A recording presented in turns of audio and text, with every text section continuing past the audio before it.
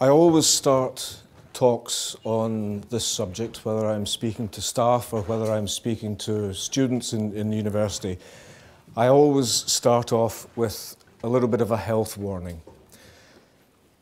Firstly, throughout my talk, I may use terms such as drugs of abuse, terms which carry negative connotations. You should not think that these shorthand terms that, that I'll in, invariably fall into using, you should not think that in using these terms I'm at all judgmental of anybody who uh, wishes to take what we all know are illicit and illegal drugs. The second thing is really a health warning, and that is when, when I come to the, the end of the lecture, I'll be delighted to take, um, to take questions. And I'm quite happy for you to challenge anything that I say, but please do not preface your question with something like, well, the last time I took cocaine, that didn't happen to me. You must remember that these are illegal activities and you should not, in this public forum, be admitting to illegal activities. A little bit of protection for myself as, uh, as this lecture is, is being filmed that any uh, opinions that I express are not necessarily a reflection of the policy of my employer, the University of Edinburgh. Uh, they are my own opinions, they are not those of, of the university. So, the war on drugs. The war on drugs started uh, around 1971, and the war was declared by Richard Nixon. As I talked to the people from New York State, I realized the need for money uh, to deal with this problem. I am glad that in this administration we have increased the amount of money for handling the problem of dangerous drugs sevenfold. It will be $600 million this year. More money will be needed in the future. I want to say, however, that despite our budget problems, to the extent money can help in meeting the problem of dangerous drugs, it will be available. This is one area where we cannot have budget cuts because we must wage what I have called total war against public enemy number one in the United States, the problem of dangerous drugs. So, total war. Nixon didn't use the phrase war on drugs. That was something which, which came uh, quite a time later, actually. History has not been kind to Richard Nixon. But I think we have to give him the benefit of the doubt in this instance that he was motivated by a concern for damage that was, he thought, from his perspective, was being done to his country and the citizens of his country. So he knew that illicit drugs were causing mental health problems, in particular addiction, were causing medical problems, uh, and given the healthcare system in the United States, these could quite easily lead on to uh, destitution and various social problems. The use of illicit drugs in the United States was also impacting upon the economy. Healthcare, productivity, and the accidents that, that uh, people who were using the drugs were more prone to uh, experiencing. And the cost of drugs to the United States is large. The latest figures that we have are out of date, and you, uh, whatever possible, I, I'm, I'm trying, I try to show the source date. Um, it, it's very difficult to keep up with um, the most recent data because it just doesn't exist. Everything is, is done retrospectively. But back in, in 2004, the cost of illegal drugs to the United States economy was estimated at $181 billion. But this needs to be put into some sort of context because the cost of alcohol abuse to the United States was $185 billion. And the cost of tobacco related illness to the United States was only about 12, 13% lower at $158 billion. The big difference, of course, is that these costs in alcohol and tobacco can be offset against tax. the tax that is uh, imposed upon alcohol and, and cigarettes and, and, and tobacco products. There is no tax on illegal drugs. Although, quite strangely, for a long time after cocaine was declared illegal in the United States, the United States government still did try to um, raise tax on, on cocaine. It was a strange um, Kafkaesque situation that, that, that they were in. But in 2010, a further 15 and a half billion, and that's actually a, probably an underestimate, another 15 billion was spent by the United States on the war on drugs. And if you add that 15 billion to the 181, then it does actually become a very serious problem, more serious, slightly more serious than alcohol and tobacco in terms of the cost to, to the US economy. The war on drugs has been going for over 40 years, and the United States has, alone has spent over $1 trillion in pursuing the war on drugs. Again, to put these, these sorts of numbers in, into context, um, currently in, in the United States, they are trying to resurrect a, a, a new um, program to put a man on the moon. And that's estimated to cost $35 billion. And currently President Obama is balking at the cost of $35 billion to put a man on the moon. And yet every year, 15 and a half are spent in this, on this war on drugs. Priorities, I suppose. Now, almost uniquely in history, this war on drugs is a war that unites nations. Usually, wars between, or often wars between uh, nation states. The war on drugs unites nations. There are no international treaties that are adhered to with, with such, um, well, unanimity as are those treaties which deal with the flow of narcotics around the world. Everybody seems to agree that this is a bad thing, and everybody has a stake in this war on drugs throughout the world. Because the use of drugs, if you see it as, as a problem, is a global problem. 160 million people are thought to use cannabis regularly. Huge number of people. Uh, this isn't showing very well. The, the green is, sorry, the blue is, is amphetamines. So th three quarters use cannabis. Um, about what, 10% use uh, the amphetamines. A fair number, but very much less than, than the cannabis, use the opiates and cocaine.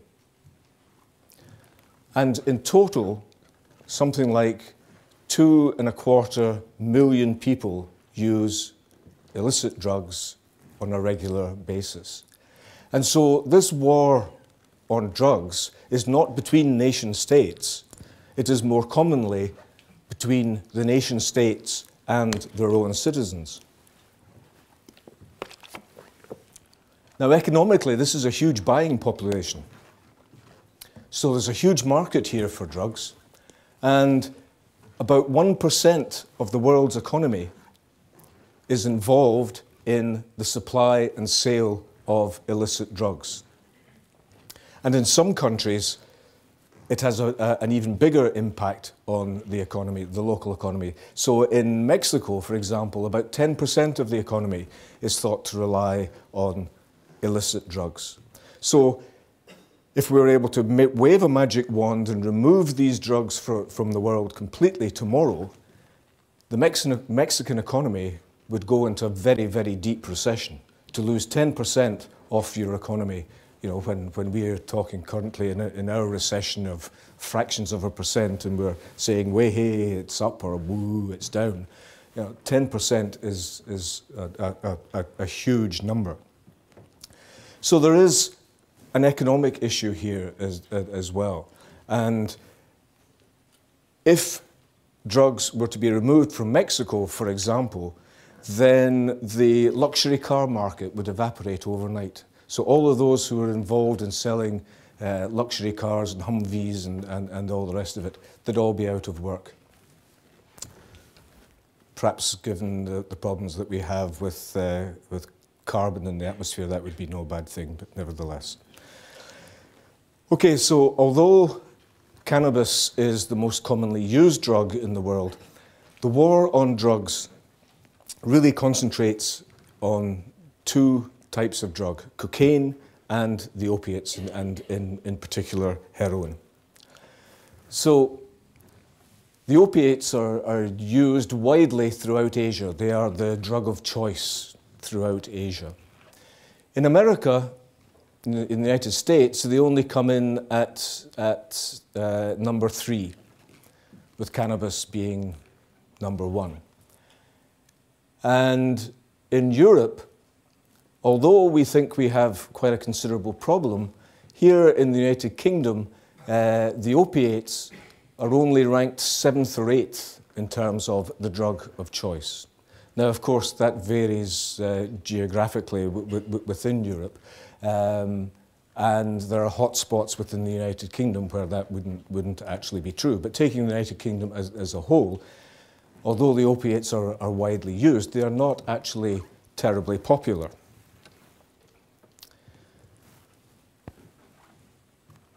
Cocaine, in contrast, is, is barely used at all in, in Asia. In the United States, it's the, uh, it's the third most commonly used drug. And in Europe, it varies considerably. And the two hotspots of, for use in Europe are Spain and the United Kingdom. And in the United Kingdom, currently, cocaine is the second most popular drug. Again, cannabis is, is, is way out in front. But the issue with, uh, with cocaine in the United Kingdom is that while drug use in general is on the decline, the use of, can, uh, the use of, of cocaine is actually on the increase. So for those, for that somewhat parochial reason, I intend to concentrate on cocaine for, for the rest of my talk. It's a problem which is growing in this country. And so the war on cocaine is fought on three fronts. It's fought, it's fought in the producer nations, it's fought against the growers. It's fought in the transit nations, such as Mexico, which act as a conduit for the, the, the, the, passage of drugs into the southern United States. And it's fought against the end user, those who actually use the, the, drug. The drug is produced exclusively in uh, South America, in uh, Bolivia, Peru, and Colombia. Colombia provides 60% of the world's cocaine. And it provides almost 100% of the cocaine that is going into the United States. The drugs, the, sorry, the, the cocaine from Colombia goes through Mexico as the transit state. Cocaine coming to Europe goes through West Africa. And there are growing problems in West Africa associated with the fact that, that they are a transit for, um, for cocaine into Europe. And you can see the markup. There's a huge profit to be made.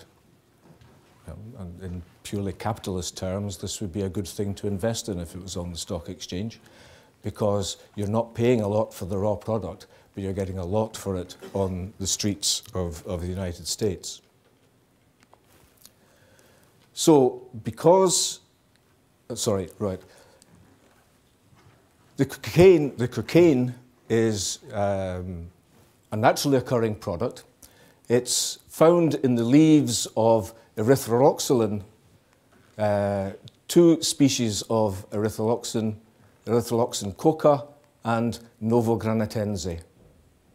And these are only found in Peru, Bolivia, and Colombia.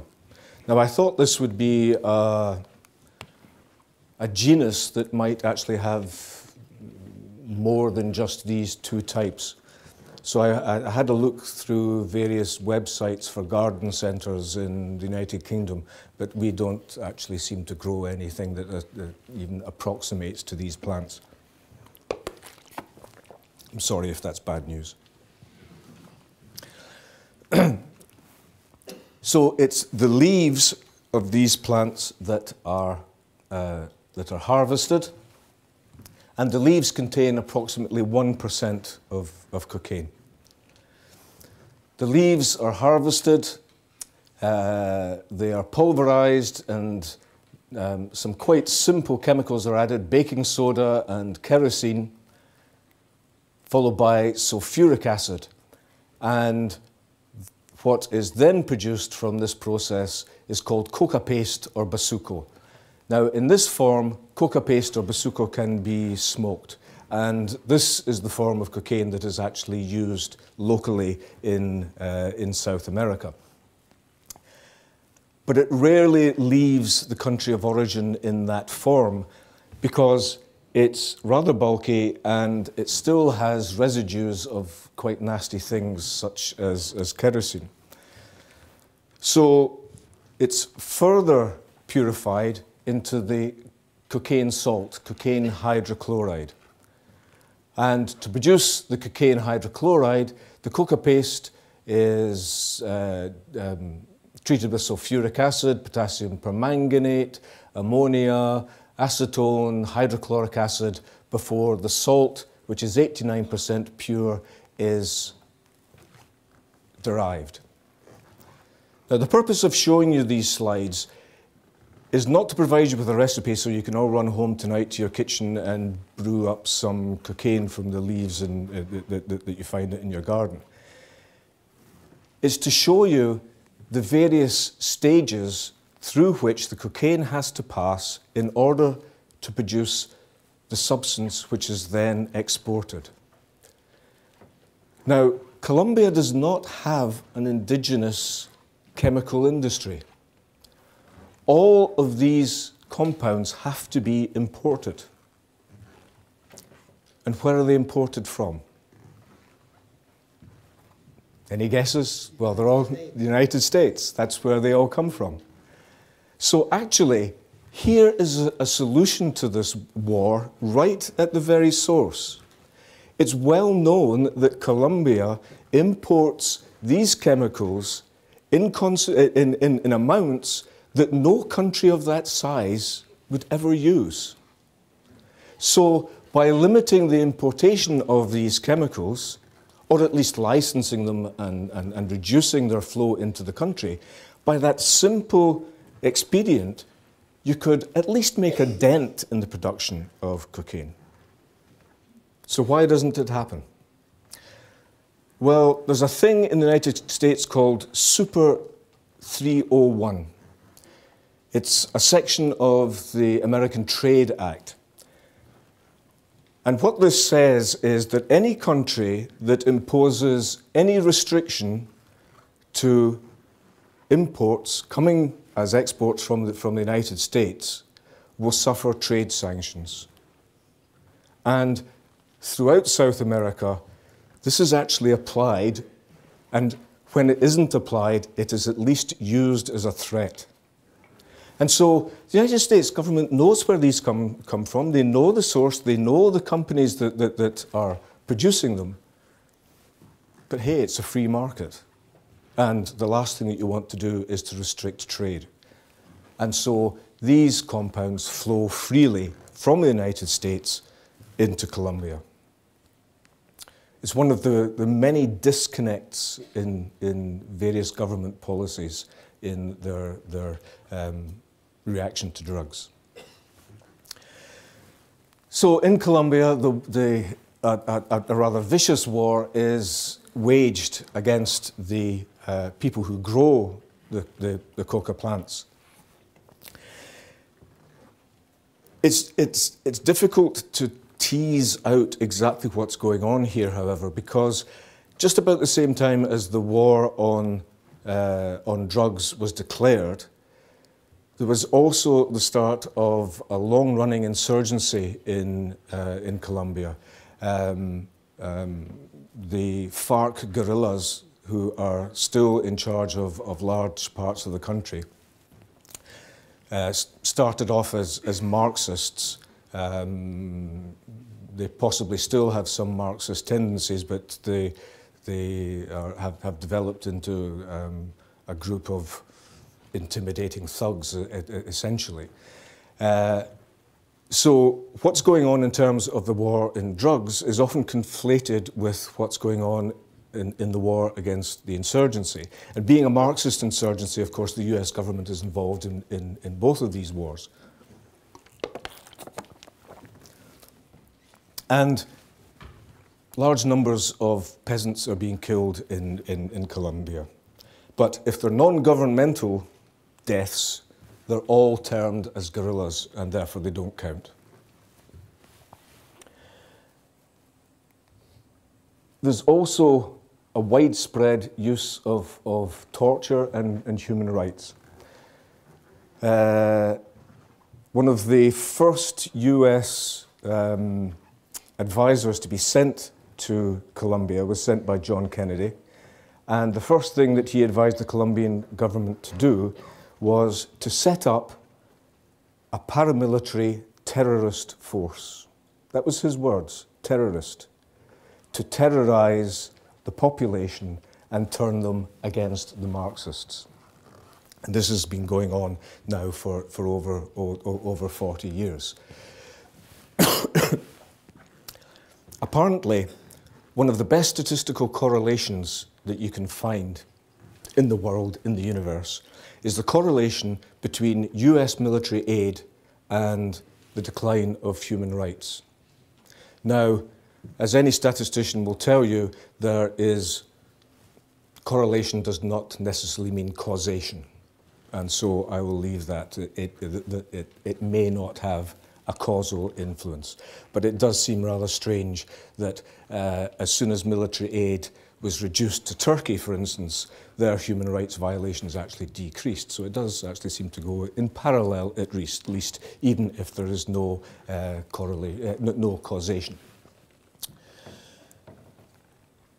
The war against these peasants involves both conventional arms and now chemical weapons as well.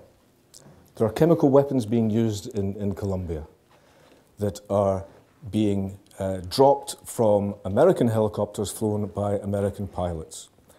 Now, these chemical weapons are, are, are, are called uh, herbicides, but nonetheless, they are being used as a weapon against the indigenous population. And the cost in terms of lives, in terms of misery for the Colombian peasants is, is high. So, is the war worth it? The cost for Colombia is high. Is the war being won? Well, there is some evidence that the war is being won in, in Colombia. So, just after, uh, uh, uh around 2001, uh, the Colombian government, with the uh, help of, of the United States, started their policy of, of herbicide spraying. And they reckon that the number of acres that were under cultivation for the uh, coca plants fell dramatically.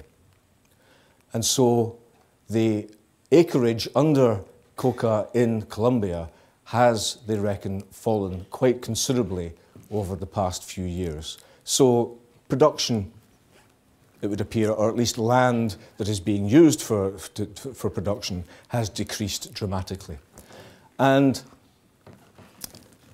the number of seizures of, uh, of, of, cocaine has risen steadily from 2000 up to uh, 2010, starting to stabilize a little bit now, but it certainly has increased.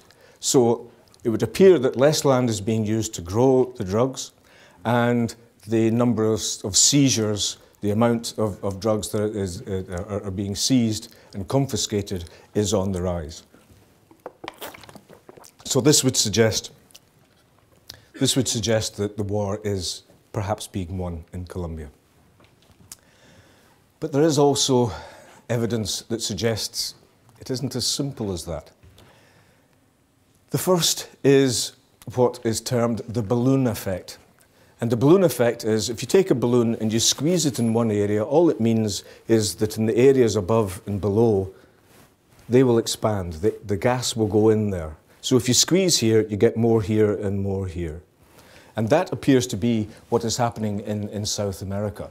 So there was a big push against the growth of the um, or cultivation of, of the coca plants in Peru around the year 2000, and the amount fell dramatically.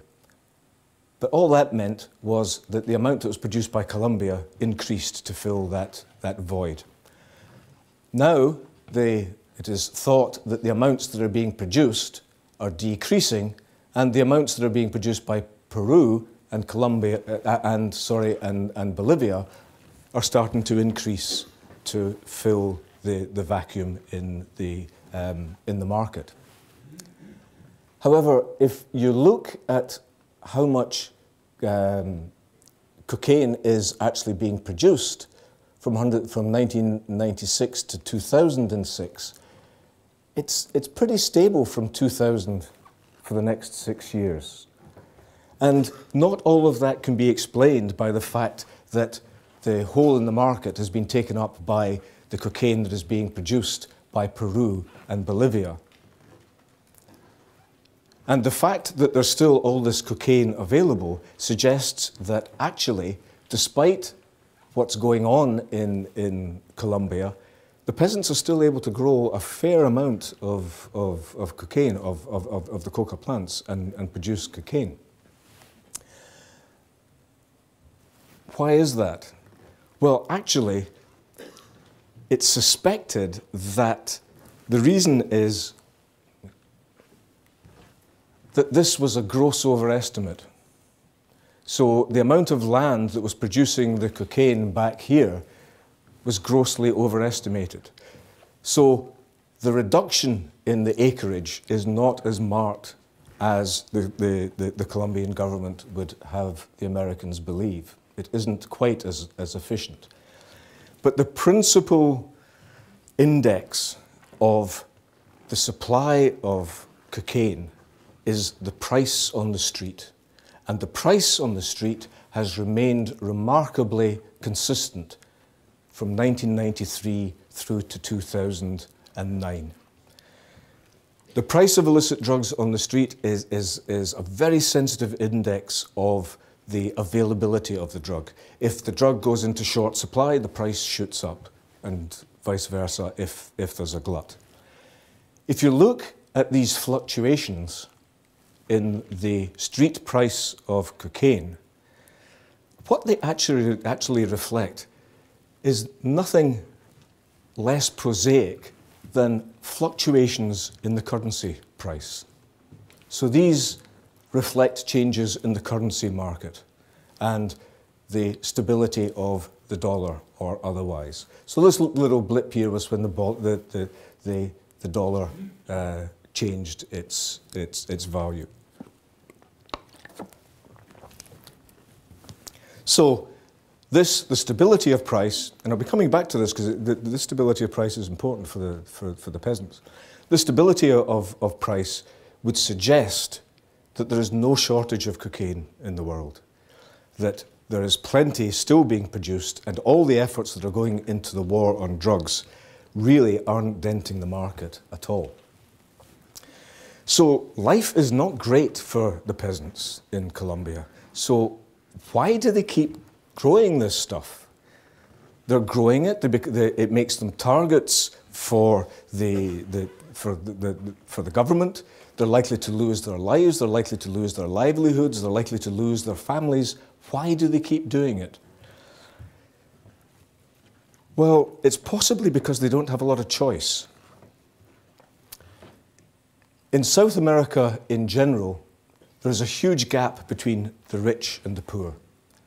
So there is huge economic inequality.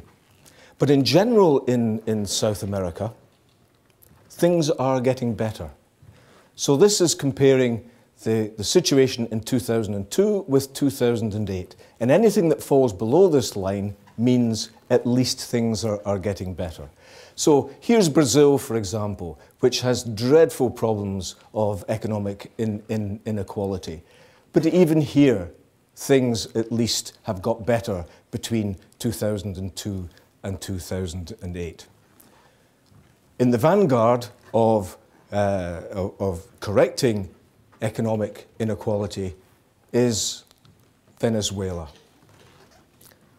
And I'm not a, a, a, here as a cheerleader for Chavez, but what's going on in Venezuela really does stand out. In three countries, Colombia, Guatemala, and the Dominican Republic, things have actually got worse over this period. And in Colombia, this is a problem that's been going on. This is a problem that, that way predated the war on, on drugs and way predated the, the FARC guerrilla uh, in, insurgency. For decades, there's been a land grab going on in Colombia where the rich and the powerful are taking the best land from the peasants. And as a consequence, the peasants are being pushed further and further into marginal lands where the number of crops that they can grow or the variety of crops that they can grow is diminished. Coca is one of the crops that they can grow quite successfully. There's also an additional factor, and this is I've called it the law of unintended consequences. And this is a, a, a, policy pursued by the United States, which is, on, on, the face of it, and I, I, I, don't want to belittle it at all, but on, on the face of it, has good humanitarian uh, logic behind it. So, what the American government does is it buys up grain from the Midwest farmers. Actually, very few farmers in the Midwest now. It's mostly agribusiness now in, in, in, in, the, in the prairies. But they buy the, the surplus um, wheat and they give it away. They give it away to developing countries, including Colombia. And what's supposed to happen is that the, the, recipient governments are supposed to sell these crops, generate money, and then reinvest it in the local agriculture. The problem is there that the Colombian government's pretty corrupt, and so the money never gets anywhere other than the pockets of a few rich, already rich individuals.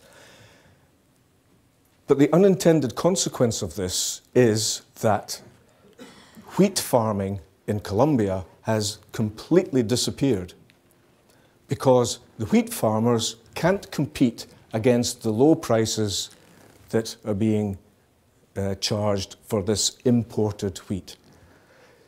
So they can't, wheat is something they can't grow. Cocaine is something they could grow. Now, you, you, you may see in, in the, the, the papers just now that there are talks going on between the FARC guerrillas and the Colombian government. And this is the first glimmer of good news that we've had for decades in, in this benighted country. I'm not sure if the population believe that, however, because what they're seeing is two groups of thugs talking to each other about how they're going to beat up the peasants again. But, but let, let's hope at least that something positive will, will come from that. But even before they started talking, one thing that the FARC guerrillas and the, the Colombian government agreed on was the need for the developing world, sorry, the developed world to provide the peasants with alternatives, alternative crops that they could grow. So, what could they grow? Well, they could grow coffee. Coffee is something which they could grow even on these marginal lands that they, that they are now occupying. So, why don't they grow coffee, for goodness sake? Exactly commodity price stability. In order for the peasants to be able to make a living out of coffee, that is, a living this year, next year, and the year after, they need price stability. They need to have the promise that they're going to get a good price or a reasonable price or a predictable price for their crop. Is that going to happen? No, it's not. Why is it not going to happen? Because huge blocs like the United States, like the EC, refuse to allow these peasant farmers to have price stability for their commodities that, that they produce. Compare that with cocaine. Stability of price, fantastic, never varies. They know how much money they're going to get for the cocaine. So everything, or circumstances, are pushing the peasants towards growing the one crop that they know that they can grow and they know that they can get a reasonable price for year on year on year.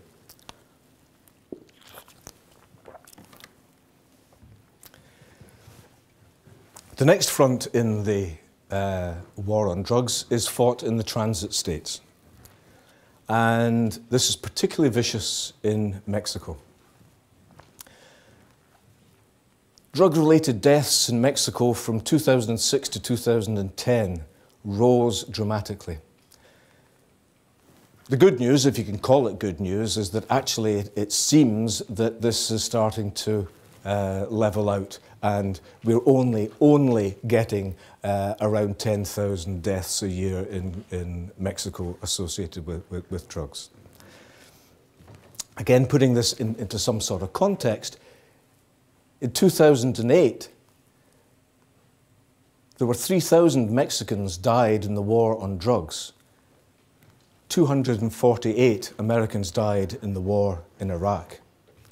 And indeed, over the, the period, the whole period of, of American involvement in Iraq from 2003 through to 2012, there was something like four four, four and a half thousand US troops were, were killed. Four and a half thousand troops were killed in all out war. 3,000 a year are being killed, or sorry, 10,000 a year are being killed in Mexico. When, when I was looking into this, I found it so depressing and so hopeless that I'm afraid I didn't go into it in any more depth, and I'm afraid that I'm going to draw a curtain over it uh, and, and move on. It is a really depressing situation. What's worse is that what is, what is already happening in Mexico is now starting to happen in West Africa as the trans transit area for cocaine coming into Europe. It's not well publicized. You, you, hear about all the horrible decapitations and things that, that, that are going on in Mexico. You hear very little about what is going on in West Africa. But what is happening in, in Mexico now is very likely to be happening in West Africa tomorrow. So what's this got to do with us sitting here nice and snug and, well, yeah, it's not nice outside, I know, but uh, it's reasonably comfortable in, in here in Edinburgh. The war on drugs is being fought in faraway countries uh, and the protagonists are, are, foreign nation states and various criminal elements. Why should we concern our, our, ourselves with that? Particularly when the cost in terms of lives is being borne by the producer states and the transit states, and the financial cost, well, at least the lion's share of the financial cost, is being borne by the United States. So why should we concern ourselves with this? Well, I think we have to because a quarter of all the cocaine that comes into Europe comes to the United Kingdom. And I think there is a moral imperative here. I don't think that we can ignore the trail of corpses that are leading right to our doorstep. There is a market here for cocaine in the United Kingdom, and the cost of providing that market is being paid for in, in blood elsewhere. So, what are we doing in the war on drugs? What are we doing in this country? Well, unlike the war on terror, where the UK has a really prominent role and uh, it's, it, it's well documented, it's actually very difficult to find out what we are doing in the war on drugs.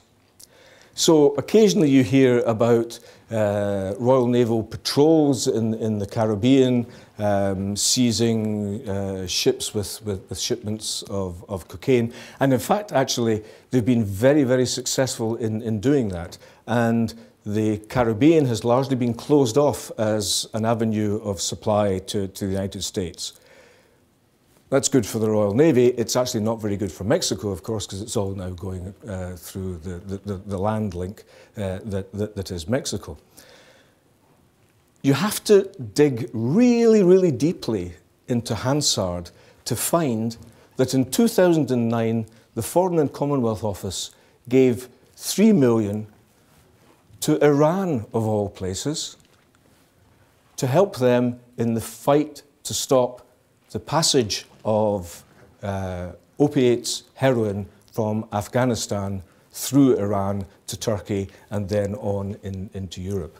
But you have to dig really deeply to find that.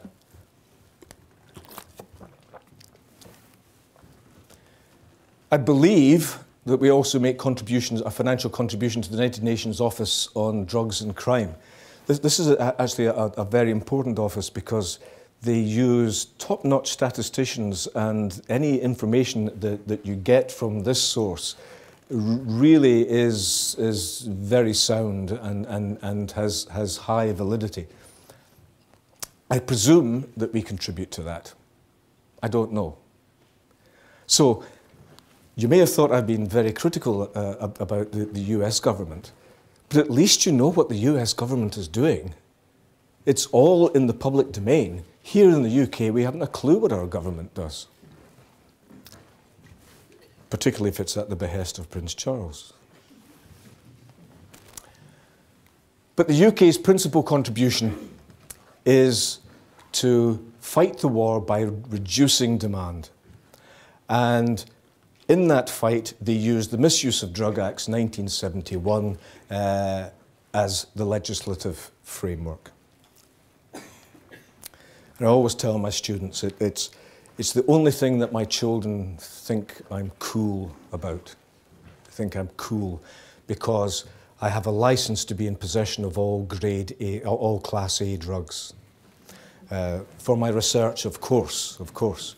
Um, well, when they were younger, they thought that was cool.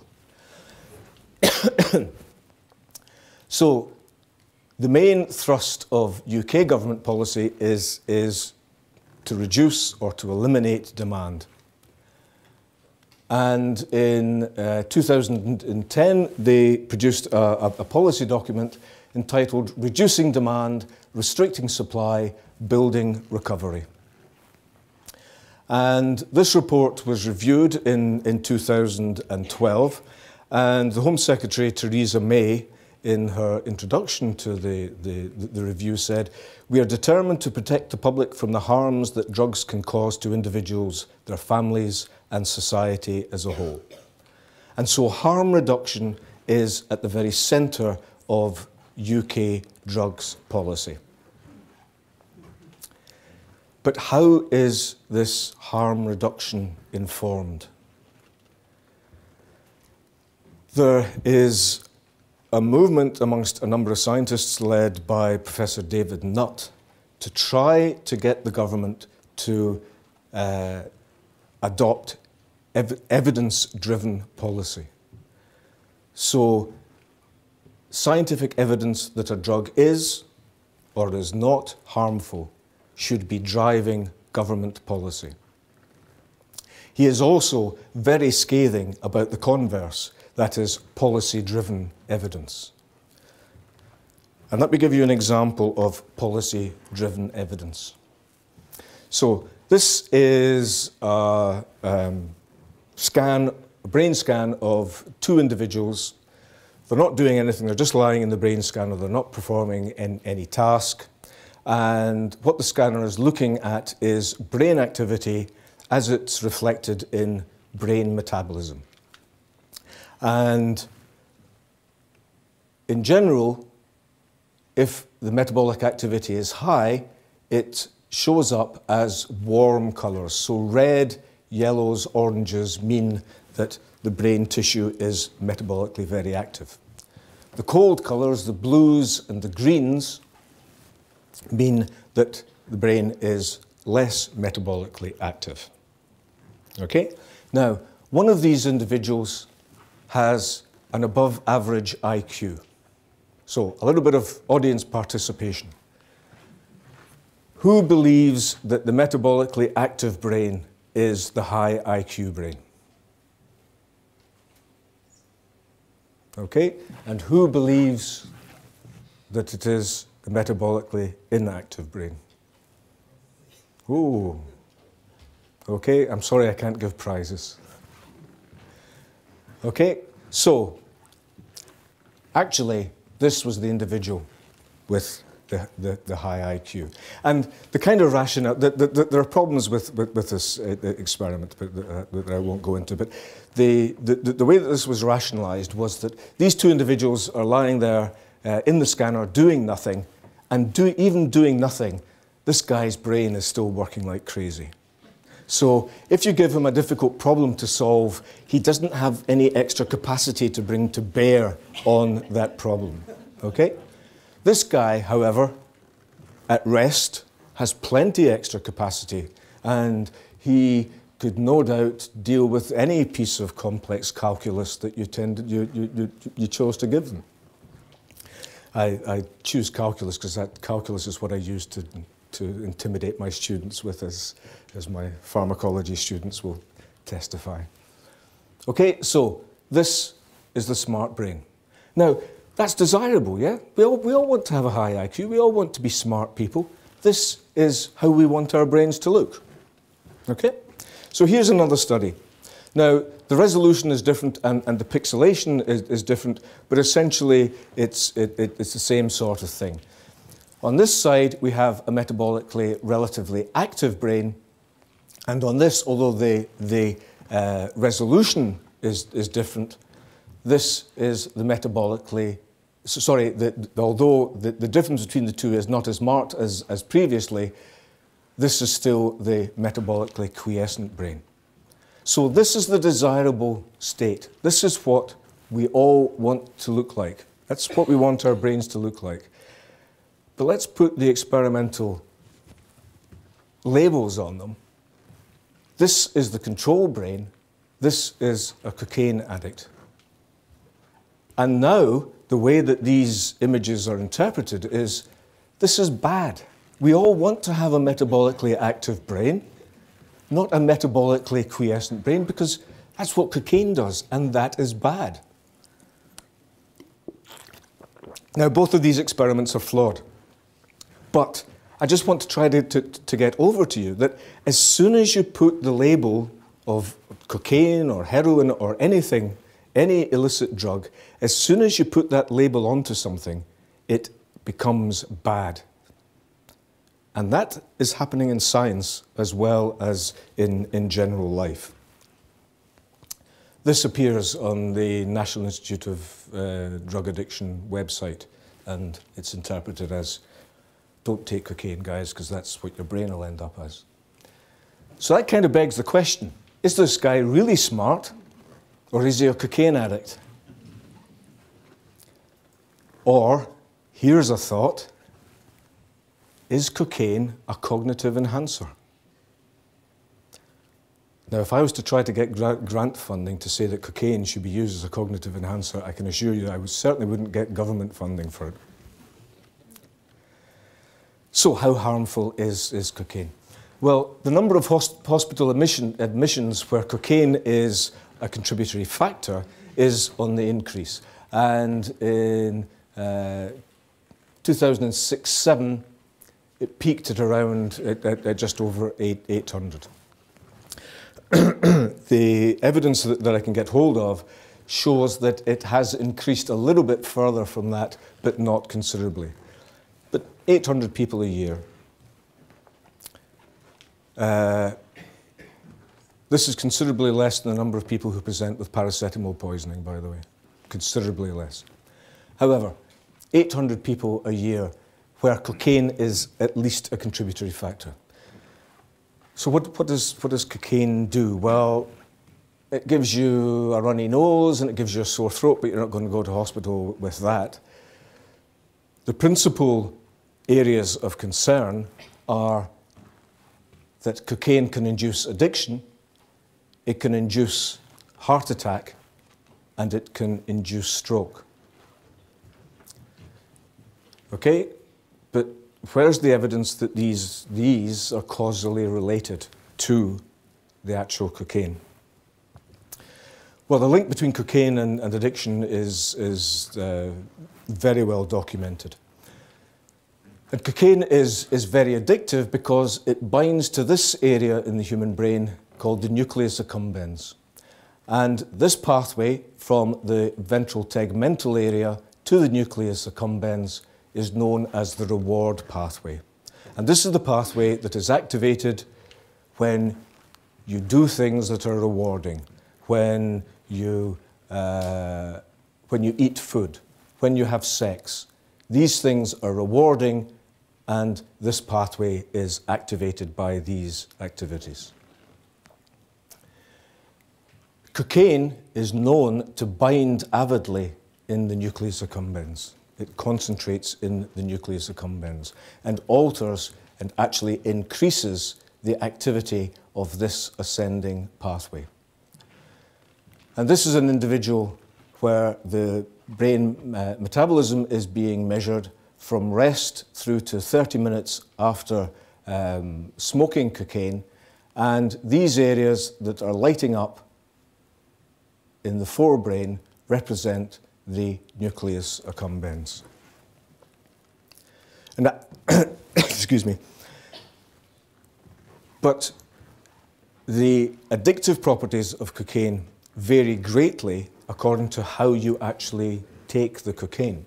So if the cocaine is, in, is insufflated, that's the uh, nice word for snorted, if cocaine is snorted, it takes about three to five minutes to enter the bloodstream, and the maximum effect uh, is, is 20 minutes later. And the reason for that is that the cocaine is absorbed through the, the, the mucous membranes of, of, the nose, gets into the bloodstream, goes through the, the, venous circulation throughout the body before returning to the heart, then onto the lungs, back to the heart again before it gets to the brain. And that takes quite some time. On the other hand, if cocaine is smoked, if cocaine is, is in the free base form or, or, or, or, in, in the form of crack cocaine, if it is smoked, it goes straight from the lungs to the heart and right to the brain. And the maximum effect is 20 seconds after the cocaine is, is smoked. Okay? So the relatively long time frame between the act, that is snorting the cocaine, and getting the reward 20 minutes later means that the addictiveness score of cocaine, if it's snorted, is 72 out of 100. In comparison, the addictiveness score of cocaine that is smoked is 98 out of 100 because the time interval between the actual act and getting the reward is so short. Cocaine that's smoked is, is very, very addictive. and there are animal studies that have been done to show just how important the route of administration is. So these rats are trained to press a lever, and every time they press a lever, they get a shot of, of cocaine. This rat gets a shot of cocaine, I don't know, into its bum by the look of it, um, but certainly in, into the periphery. On the other hand, this rat gets a shot of cocaine directly into the nucleus accumbens. This rat will press the lever and wander off and do other things and come back and press the lever. It'll certainly press the lever more than, than if it was just getting um, saline or something. But this rat will do nothing else but press the lever. It will just sit there and press the lever. It won't eat, it won't, it won't do anything. You, you can put a nice, sexy female rat into here, it will ignore it. It just keeps pressing the lever to get the cocaine.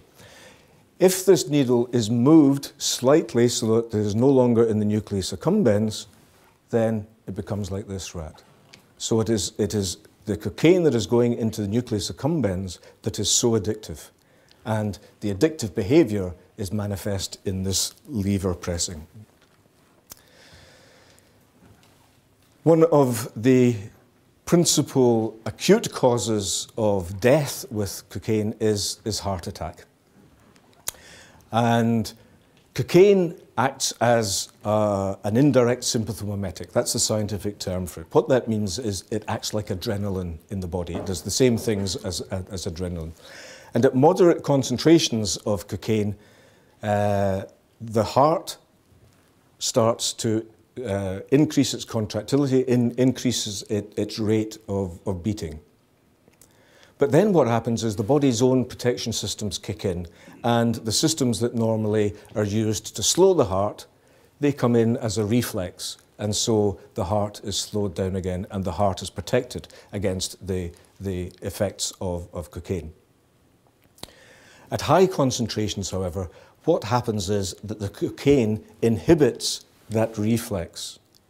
And so the increase in heart rate, the increase in blood pressure is no longer countered by the reflex, the physiological reflex, and so the effects on the heart and the circulatory system go without any check whatsoever. Within the first 60 minutes after taking cocaine, you are 20 times, sorry, 25 times more likely to have a heart attack than normal. But the evidence is, is really quite difficult to, to tease out because that's the potential mechanism by which the cocaine causes a heart attack. But there's, there's moderate and high dose. What's a moderate dose and what's a high dose? It's actually impossible to say because at post mortem, the amounts of cocaine that have been found in dead bodies can vary by a hundredfold. So, as low as 20 milligrams of cocaine in, in your blood can kill you. These sorts of amounts, the, the basically two grams, they're usually only found in mules. Mules are people who carry cocaine, usually wrapped in condoms, in various body um, cavities. And when or if the condom um, um, ruptures, then these sorts of concentrations can be reached. So it seems that there is actually no safe dose because it depends. It depends on the individual. It also depends on the, the time. So it appears that what is a moderate dose to somebody one day is actually a high dose in terms of the, the, the, damage it can cause to the heart on another day. So it, it's totally unpredictable. It is not something that you can adopt a, a, a, a safety strategy for because it is so unpredictable. More recently, it's become apparent that cocaine can also cause stroke. And this came to prominence because two quite famous um, American basketball players died in the middle of televised um, games. They, they, collapsed in the middle of the game and, and actually died in, in, front of the television cameras. And that had a, a, a big impact, um, particularly in, in, the black population in, in, America. And it was thought that the cocaine uh, was producing strokes because it was causing the blood vessels to constrict so much that the blood just wasn't getting to the brain. But in fact, that wasn't really borne out by the, the post-mortem evidence. And, and the post-mortem evidence actually suggested that it wasn't occlusive stroke that these people were dying from, it was hemorrhagic stroke. They were having a bleed into, into the brain. And this is the sort of mess that can be produced by uh, an, an, a, a cocaine-induced intracerebral hemorrhage.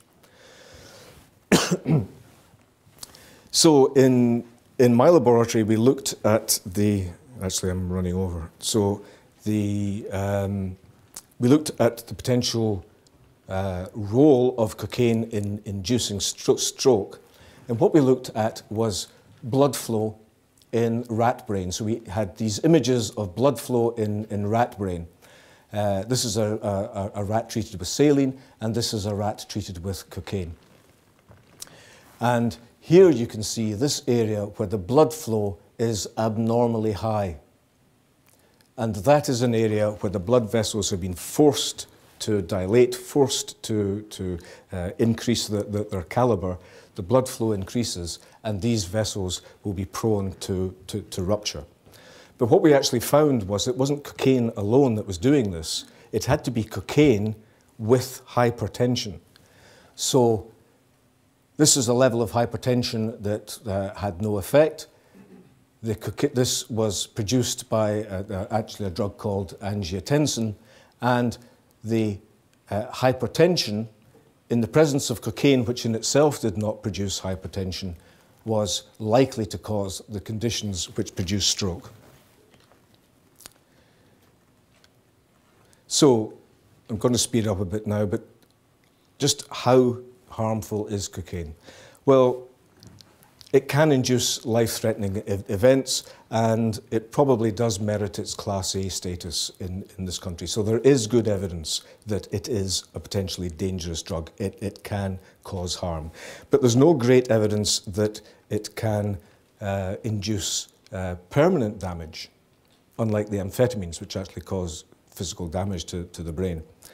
Um, but there is one exception to that, and that is the effects of uh, a mother taking cocaine when she is pregnant. And that leads me on to the role of the media in, uh, in this war on drugs. So about 15 years ago, there was a big scare. It was in, in all the papers. Uh, it reached the, the front page of Time. They had a, a, a big spread in the, the, the Sunday Times, I remember. Uh, in America, the phenomenon was called crack kids. In Britain, it was called crack babies, the crack baby syndrome.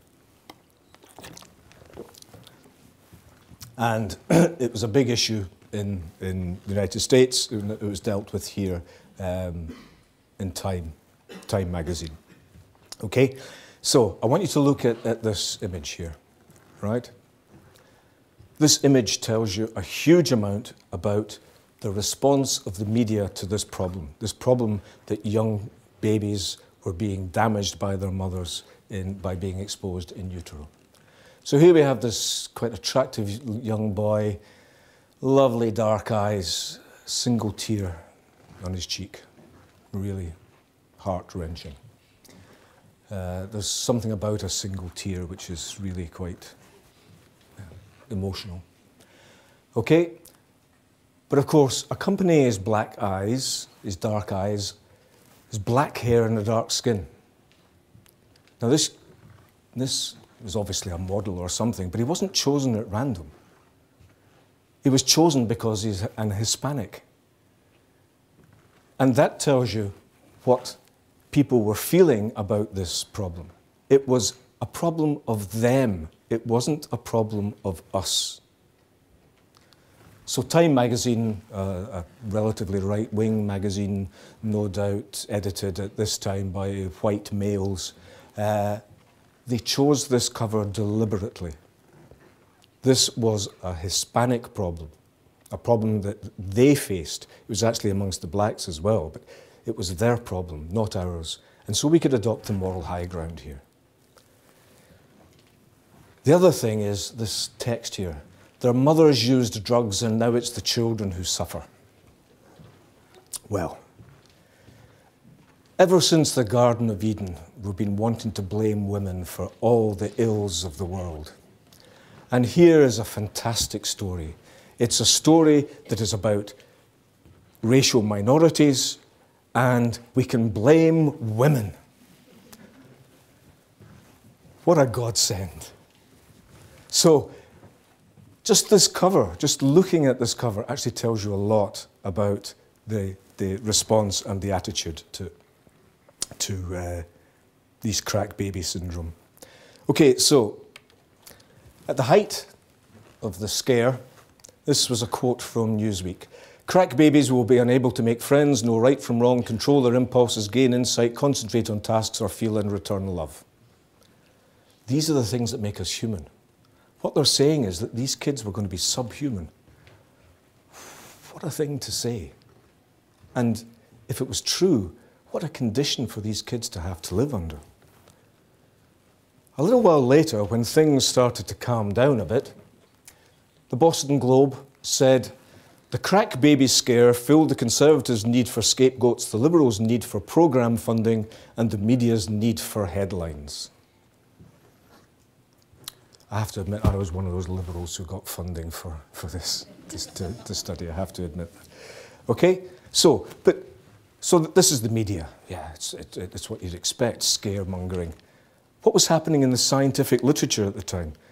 Well, Lancet did a review after the event, and they came to this conclusion.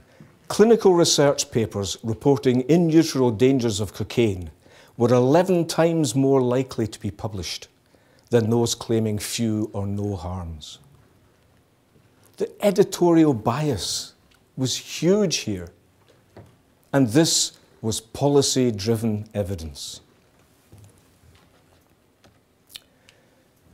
Now, I don't want you to think that in utero exposure to cocaine is without risk. And this was a study done in, in my laboratory where we treated uh, pregnant dams, pr pregnant rat dams with, with cocaine and then followed their offspring for, for a, a, a number of months, up to two years. And what we actually found was that around two years, what was happening was a very important area of the brain appeared to be compromised, and that area of the brain is called the hippocampus. And this is an area of the brain that is involved, amongst other things, in, in learning and memory. And what we found in our studies was that this is uh, an individual whose mother was given saline. This is one where the mother was given cocaine. And here you can see the metabolism actually follows quite closely the uh, the um, physical structure of, of the hippocampus. Here, it's just a mess. And so, from our studies, we were able to conclude that there was the potential, at least, for a long term effect that may not be manifest until individuals became middle aged. Is this likely to be transposed into humans? We don't know, because there will be no human studies where individuals will remember or will know in their middle age that the difficulties that they are facing now in uh, learning and memory tasks relates to something that their mother did before they were born. So this might be real, it might happen in humans, but we will actually never know whether it is true or not. So the translational element of this study is, is, is, will always remain questionable. So where do we stand now in the war for, of drugs? So for cocaine, at least, there is good evidence that there is harm. There is the potential for harm. But this year, earlier this year, uh, in evidence to the Commons Home Affairs Select Committee, Justice Secretary said, We have been engaged in a war on drugs for more than 30 years. We are plainly losing it. But worse than that, he actually went on to say, We're all disappointed by the fact that far from making progress, it could be argued we are going backwards at times. So, not only are we not winning this war, things are getting worse. Now, I've got a lot of time for, for Ken Clarke because um, when this girl, uh, Linda Farrington, who is doing a PhD in my lab, when she was invited to the House of Commons to present uh, her work on um, the link between ecstasy and, and stroke, Ken Clarke was the only politician that came and read her poster. So I, I have a warm feeling to, towards Ken Clarke. But I really feel that when, at the end of, of his testimony, testimony, when he said, We're not winning this war, we're going backwards, and he was asked, Well, what are you going to do? His response was nothing. We're going to keep on doing what we're doing just now seems to be uh, at least a lack of imagination. I'm going to give you two ways that this war could end tomorrow. The first way was that that was suggested, uh, in fact, he put into operation by Mao, Zedong, the leader of, of uh, People's Republic of, of, of, China. And the other is one that was put forward by Milton Friedman, the uh, eminent uh, American economist who um, um, advised um, Reagan. So Mao's way is execute all the drug suppliers and users. Milton Friedman's way is decriminalize recreational drugs and call off the war. Some would say that was surrender or appeasement or something like that. I think, as we stand currently, those two approaches are actually equally unlikely. I don't think that either of those is going to happen anytime soon. And actually, then, in our changing world, there isn't going to be much change on this at all. Thanks.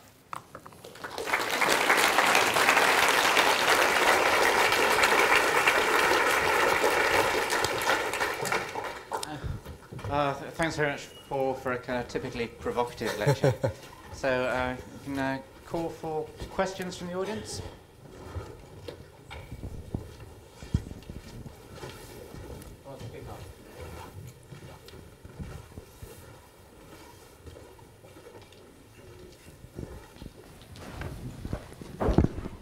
Thank you. I'm disappointed at your pusillan pusillanimity. Is that right? I understand. Pusillanimity, yeah. um, we're in a hole, and all we do is dig it deeper. Mm-hmm. Uh, the, these two quotes are, are quite correct. The, the, these are the only two logical outcomes. Mm-hmm. Um, uh, clearly, the first is, is, is out of the question. But why don't we decriminalise? When I was about 15 or so, there must have been about four or 5,000 drug addicts in the UK. And they would line up out of Boots in, in, in Piccadilly Circus at midnight waiting for their, daily prescription so we could get their fix. And then we made it profitable to sell drugs illegally. And what happens? People sold drugs illegally. If drugs were decriminalised and controlled and regulated and purified and, and, control, and, and likely taxed, the situation in Mexico and Colombia and Afghanistan would be revolutionized in a very positive way. And more and more, I believe, more and more politicians are coming around to this view. The police, certainly, are coming around to this view. 50% of all crime in Britain is caused by people who are trying to get money so they can buy illegal drugs. Blue collar crime. okay, so uh, let me say that I, I wasn't expressing my opinion when I said it shouldn't be decriminalised. I said it isn't going to be. But the, the, there is a wider issue here, and, and that is our attitude to drugs in general, and I mean therapeutic drugs as well as recreational drugs.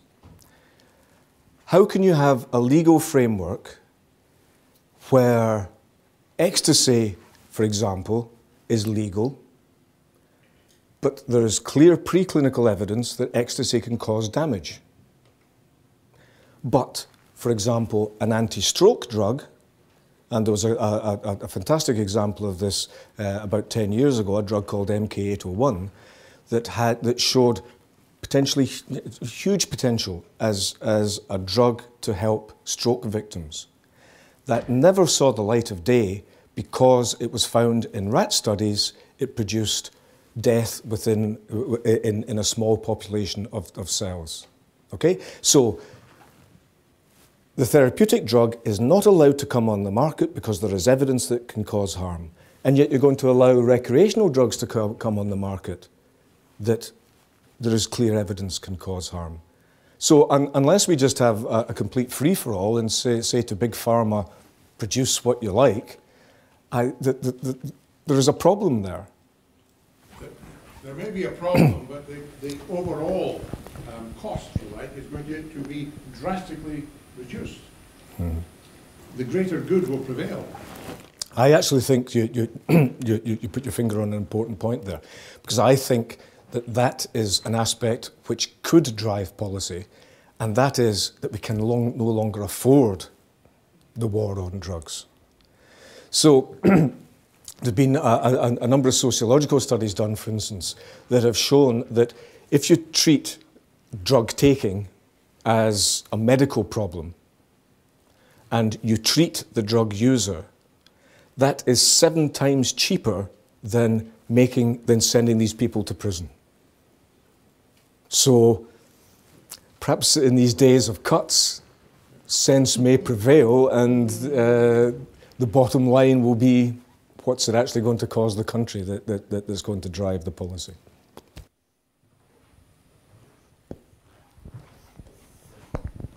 Just um, following on from that, Ah. to what extent, would- you're talking about the um, uh, proven harmful effects of these drugs, to what extent is that related to things like purity and potency? I mean, I don't think many of us would be terribly confident about even taking aspirin if we had to sort of go down to some shady back Mm. corner of a pub and get somebody to pass it over to us in a grubby brown envelope. Yeah. So, you know, is there is there Well- any evidence that suggests if we did have ecstasy BP and cannabis BP and whatever on sale in Boots, that the problems that we see uh, generally would be minimised, if not eliminated? Right. So the problem is that the drugs that are on the street are goodness knows what. There is no quality control. Um, one of the worst places for quality control of illicit drugs in Europe is Luxembourg. So don't buy your drugs in Luxembourg. Uh, quality control in the UK is actually, is actually pretty high. But of course, the drugs are always cut with, and they can be cut with things that are quite benign, like talcum powder. Uh, they can also be cut with things that are less benign, like rat poison. Um, but yeah, yeah.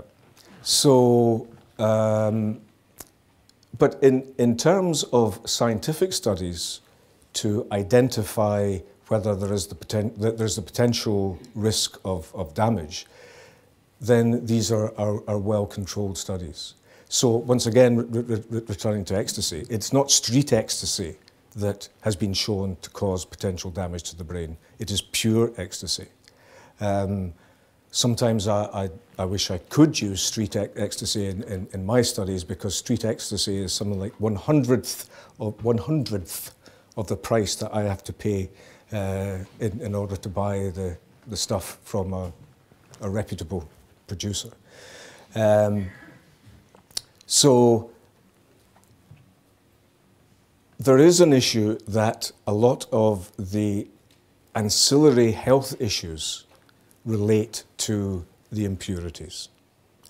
And you know, it, it, it, can be argued, for instance, that, that, that people can, uh, heroin addicts can actually lead quite full and, and long lives if they have a clean source of, of heroin and if their apparatus is, is looked after as well. So th- th- there is an issue in, in terms of how dangerous drugs are that relates to the impurities that, that, that are on the street. Uh, I, I always I, I like to tell this story, so you'll, you'll excuse me if I have an, an anecdote. This is, stems from my time as an undergraduate here at Edinburgh University.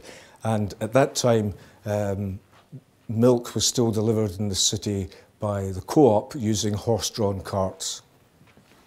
Okay, and so every morning the streets of Edinburgh were full of horse droppings. And at that time, cannabis uh, went uh, and, and, and uh, on the street. Cannabis was often called shit. And each year, as the new freshers came into this university, what some entrepreneurial older students used to do was to go around in the morning and gather up the horse manure and wrap it up into little bits of silver paper and then go to the freshers' ball and say to the freshers, hey man, you want to buy some shit? Which uh, you know, trade's description was absolutely accurate. it probably didn't do them any harm smoking it. Uh, yeah, th- th- th- there are issues associated with impurities, I agree. Uh, two, just two points you'd like to comment on them. Uh, one is if you control the quality and you get decent stuff at a reasonable price, uh, isn't, isn't demand and usage going to go through the roof? And second point is if you also um, you know, take the, um, uh, the money out of the trade in the producer and transit countries, uh, the criminal gangs aren't going to shut up and shut up shop and go home. They're going to go and do what they are good at extortion, kidnapping, all that sort of thing. And so that problem is going to continue. Okay, so, so the first one was uh, if, it- if it was regulated, let's say regulated rather than, than- than legalized, if it was regulated, then this would cause use to increase dramatically. Um, I, I don't think that that's, that, that's true. I mean, if, if, if you ask some of the young people here, it is not difficult to get drugs, and they're relatively cheap. In the UK, they are relatively poor, uh, pure. So there is no limit at present to what is, is available. Yes, it's illegal, but that doesn't actually stop many people, apparently, from, from taking the drugs. I think if, if you decriminalised, if you took away the, the, the, criminal element and, and the fear of getting caught, it's hard actually to say what effect that, that would have. I- I, I think intuitively you may think it's going to in, increase. But you look at, at places like the, like the Netherlands, where, the, where there is a, a, a, a less draconian view on, on cannabis. Cannabis use amongst the, the people of the Netherlands has, has not increased as a consequence. There is a huge increase in use in the Netherlands, but it's all people coming from other countries. The other good example is, is Portugal, where they relaxed their, um, their drug enforcement laws, or at least the way in which they were enforced. And that did not lead to a huge increase in, in use either. So I, I don't think the evidence would, would necessarily suggest that there would be an increase in, um, in use. And I'm sorry, I've forgotten your second question. Oh, yes, yes, yes, yes. Um, they'd find it hard going to find anything as profitable as the drug trade. So, the drug trade, particularly in cocaine, is so profitable that even if the authorities were able to confiscate 75% of the supply, they could still make a profit on what was left. There, there are such huge profits to, to, to be made. It, it's a very robust business model, if you like. Uh, yeah, criminals will find alternative act, act, act- activities. Um, we don't make murder legal because the murderers will go and do something else. I, I, I don't quite see that argument as following through. Okay, we've got one more question. I think we have to go last. Okay. Uh, I was just going to ask you about Portugal, which you did mention uh, in the in the last answer, but it was noticeable on your map that uh, both Spain and the UK were a very bright pink uh, on your original map of cocaine use in Europe, uh, whereas Portugal was a very pale pink. And given that there's uh, such a, a, much more relaxed regime towards drugs in Portugal, uh, do you think that's significant? So what, what those maps were showing was drug of preference. Yes. Uh, and you're saying that there was little cocaine or a little opiate there? There, there, there was little little cocaine. It was a much paler paler colour Yeah. compared to Spain, which is right next to it, uh, with quite a lot of use. On your own map. Yeah, no, no, sh- sure, sure, sure. Uh, in the first place, about uh, you know, these drug problems know no geographic or, or geopolitical boundaries, of, of, of course. Um, you will notice that there were various dots on the map, and what those dots signified was that the, the evidence was, was either missing or unreliable. And I think Portugal is, is one of those. Oh, what a shame! I thought that uh, you were actually going to prove that uh, you know that the relaxation of drug laws in, in Portugal had actually been. Uh, No, been d- no there, there- there's, there's still a big problem in, in, in Portugal. It, it, it can't be denied. Okay, well, if I, if I can just uh, uh, end by, by, by thanking you and uh, pointing out one thing there. I think um, I, th- I think you emphasise that, that you know, cocaine works really because there are receptors for it. Mm-hmm. And so, in fact, there is a cocaine produced naturally in, in, in the body. And if I've got you right, then that is produced naturally in response to sex and other interesting activities. so I think we can all go away with that thought that uh, rather than go snorting cocaine, we can uh, get rewards in other ways this evening. so, wish you all the best. Thank you for coming. Thank you. This production is brought to you by the University of Edinburgh.